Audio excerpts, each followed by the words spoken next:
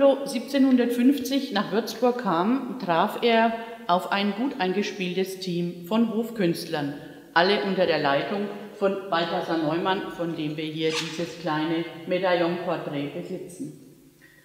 Der wohl äh, spektakulärste Mitarbeiter, der mit Tiepolo wieder nach Würzburg zurückkam, war Georg Anton Urlaub. Urlaub stammte aus Tüngersheim, nahe bei Würzburg, und ähm, war hier auch ähm, in der Ausbildung, nämlich vermutlich auch bei Franz Ignaz Roth gewesen, einem Maler, der an der Würzburger Residenz häufig beschäftigt war.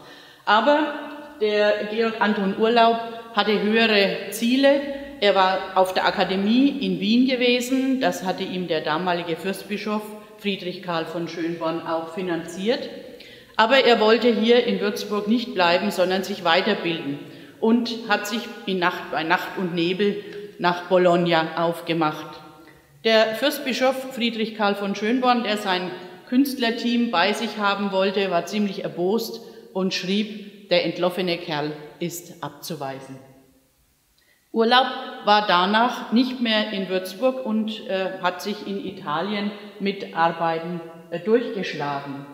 Erst zusammen mit Tiepolo kam er wieder zurück und wurde dann später sogar ziemlich kurz nur Hofmaler, denn er verstarb relativ jung.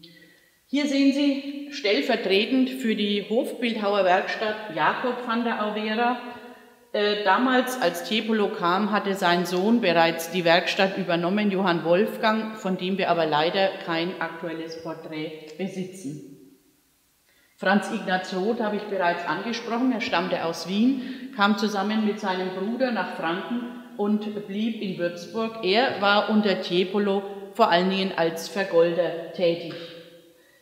Wichtig für Tiepolo, der ja nicht Deutsch sprach, war vermutlich der Hofstukator Antonio Bossi, der in äh, Oberitalien geboren wurde und äh, den wir hier in einer Karikatur sehen. Äh, diese Art von Darstellungen von Künstlern wurden vermutlich für die Lamberie-Verzierungen in einem Prunkraum, dem Paradeschlafzimmer, verwendet.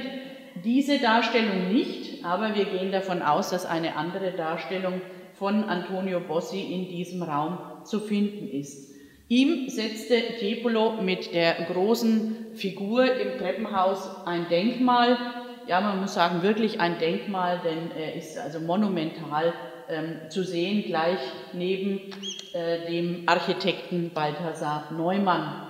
Und schließlich äh, ist natürlich noch der Hofschlosser zu erwähnen, Johann Georg Oeck, ebenfalls ein Österreicher aus Silz in Tirol gebürtig, der hier in Würzburg seine Meisterwerke schuf und äh, der auch im Treppenhaus, also unter der Sonne ähm, die Tiepolo schuf, ein Meisterwerk ähm, errichten sollte. Es kam nicht mehr dazu, weil er sich mit dem Fürstbischof überwarf. Seine Forderungen, Lohnforderungen waren einfach zu hoch und der Fürstbischof schrieb später, er wolle nicht die Puppe mit fränkischem B, die Puppe des Hofschlossers werden.